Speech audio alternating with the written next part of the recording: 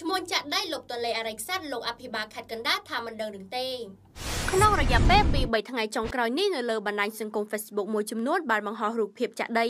និងថ្មចូលទន្លេដើម្បីវាទីចេញពីច្រាំងទន្លេជាច្រើនម៉ែត្រស្ថិតនៅក្បែរកំពង់ចម្លងអរិយស័តក្នុងស្រុកលវីអែមខេត្តកណ្ដាលតំបន់ចាក់ដីនិងថ្មនេះគឺស្ថិតនៅទល់មុខគ្នាជាមួយនឹងត្រើយម្ខាងទីក្រុងកោះពេជ្រប៉ុន្តែអភិបាលខេត្តកណ្ដាលថាមិនទាន់ដឹងរឿងនេះទេលោកដូចច័ន្ទមេឃុំអរិយស័តបានប្រាប់អ្នកសារព័ត៌មានកាលពីថ្ងៃទី1ខែកក្កដាឆ្នាំ2021នេះថាលោកគ្មានសិទ្ធិហាមឃាត់ឬអនុញ្ញាតឲ្យមានការចាក់ដីលុបទន្លេនោះទេប៉ុន្តែលោកបន្តថាការចាក់ដីលុបទន្លេមេគង្គនេះទំនងមានការអភិវឌ្ឍដូចគ្នាទៅនឹងមជ្ឈមណ្ឌលកោះពេជ្រលោកថ្លែងដូចនេះថាខ្ញុំមានសមត្ថកិច្ចអាណាតើឲ្យគេធ្វើឬខាត់នោះបើធនាគារគេអត់ទាំងដឹងលឺឬថាយ៉ាងម៉េចផងគេចាក់អភិវឌ្ឍធ្វើដោយកោះពេជ្រដែលមានសចូលណអញ្ចឹងទៅបើតាមដឹងលោកកុងសាភ័ណ្ឌអភិបាលខេត្តកណ្ដាលបានប្រាប់អ្នកសារព័ត៌មានថាលោកនៅមិនទាន់ដឹងថាអ្នកណាចាក់ដីលុបទន្លេនេះនៅឡើយទេប៉ុន្តែលោកថានឹងចុះពិនិត្យមើលលោកបានថ្លែងថានៅអរិយខ្សាត់ខ្ញុំអត់ទាន់ដឹងទេចាំមើលខ្ញុំពិនិត្យមើលសិន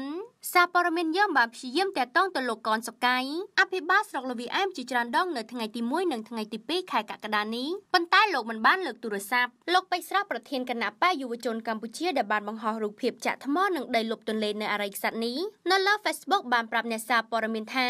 នេះគឺជាសកម្មភាពចាក់ដីវិទីយកទន្លេមេគង្គហើយទោះបីមានច្បាប់ក៏ពុំត្រូវអភិវឌ្ឍក្នុងតំបន់ធម្មជាតិដែលជាទ្រព្យសម្បត្តិសាធារណៈរបស់រដ្ឋនោះដែរលោកបានថ្លែងថាតាមខ្ញុំឃើញគឺចាក់វិទីយកទន្លេមេគង្គតែម្ដងអញ្ចឹងវាខុសច្បាប់តែបើគេមានសចូលណោះអីផ្សេងទៀតខ្ញុំអត់ដឹងទេប៉ុន្តែទោះបីជាយ៉ាងណាក៏ពុំគួរអភិវឌ្ឍក្នុងតំបន់ធម្មជាតិក៏ដូចជាទ្រព្យសម្បត្តិរដ្ឋឡើយចំណែកលោកហេងកំហុងប្រធានផ្នែកកម្មវិធីស្រាវជ្រាវនិងតស៊ូមតិនៃសមាគមបណ្ដាយុវជនកម្ពុជា CYN បានលើកឡើងថា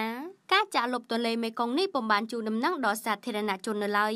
ដែលធ្វើឲ្យប្រជាពលរដ្ឋមានការភ្ញាក់ផ្អើលលោកសង្ស័យថានេះគឺជាសកម្មភាពអភិវឌ្ឍដែលធ្វើឲ្យមានការព្រួយបារម្ភក្នុងចំណោមពលរដ្ឋនិងអ្នកអាស្រ័យផលតាមដងទន្លេមេគង្គ លោកបានថ្លែងថាការអភិវឌ្ឍគឺជារឿងធម្មតាទេប៉ុន្តែពុំមានការជូនដំណឹងជាមុនដល់អ្នកពាក់ព័ន្ធពលរដ្ឋដែលជាម្ចាស់ប្រទេសព្រមទាំងពុំមានការសិក្សា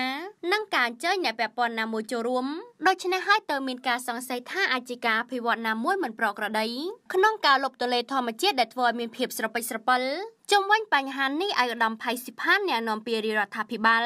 និងលោកណេតភេត្រារដ្ឋលេខាធិការនិងជាអ្នកនាំពាក្យក្រសួងបរិស្ថានសូមមិនធ្វើការអធិប្បាយនោះទេឯកឧត្តមផៃសិផានលើកឡើងថាលោកកំពុងចូលរវល់នឹងបញ្ហាកូវីដមិនបានដឹងរឿងនេះឡើយខណៈលោកណេតភេត្រាបានឲ្យតាក់ទងទៅមន្ត្រីក្រសួងធនធានទឹកនិងឧតុនិយមវិញសារព័ត៌មានព្យាយាមតាក់ទងសុំការបញ្ជាក់បន្ថែមពីលោកច័ន្ទយុធា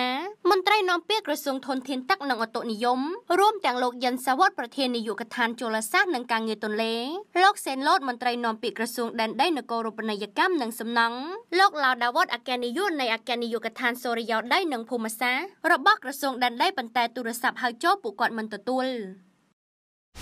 នេះខ្ញុំសមាសវណ្ណពីកម្មវិធីសមាគមសារព័ត៌មាន AE អមេជេ